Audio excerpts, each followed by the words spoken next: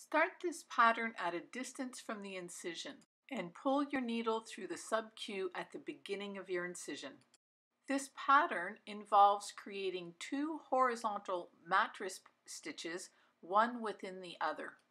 Start by creating a small horizontal suture mattress stitch on one side of the incision and then again on the other side. The foam used as a teaching tool allows you to see what the pattern is going to look like. Now create a second mattress suture on the outside of the first one.